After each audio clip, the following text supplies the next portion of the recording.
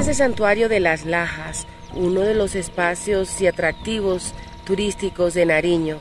Eh, digamos que es la catedral más grande de todo Nariño. Vamos a ver lo que encontramos y desde el inicio vemos mucha modernidad porque aquí está un teleférico que nos lleva hasta el santuario que está como en un hueco, ¿sí? entre las montañas. Es una cosa muy interesante. Vamos a ver qué encontramos y cómo nos entretenemos acá en Las Lajas, en Nariño, el santuario de Las Lajas en Nariño.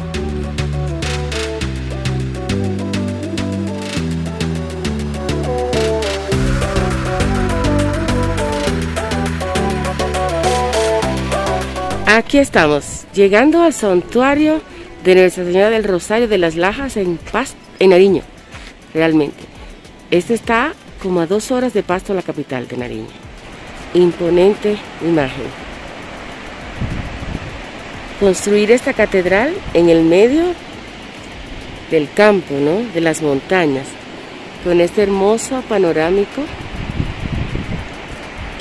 y construir este santuario a Nuestra Señora del Rosario, la Virgen.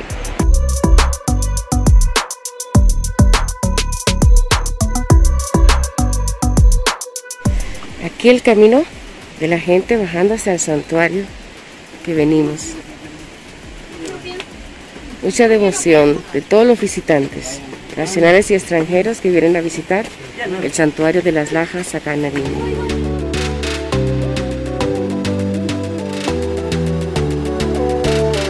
El santuario de las Lajas, acá en Nariño. Imponente, impresionante encontrarse esta catedral, esta obra arquitectónica en medio de la montaña.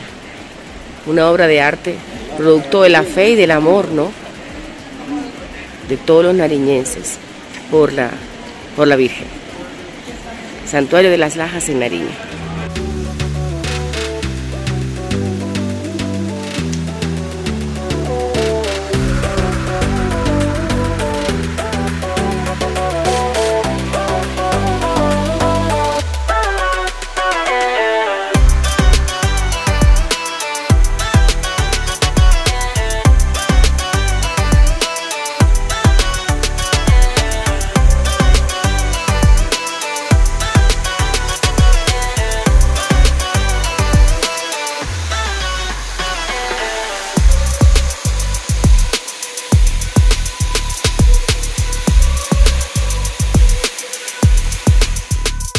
El Santuario de las Lajas, un paseo obligatorio si usted viene a Nariño. Está a dos horas de la capital Pasto, es una obra arquitectónica maravillosa.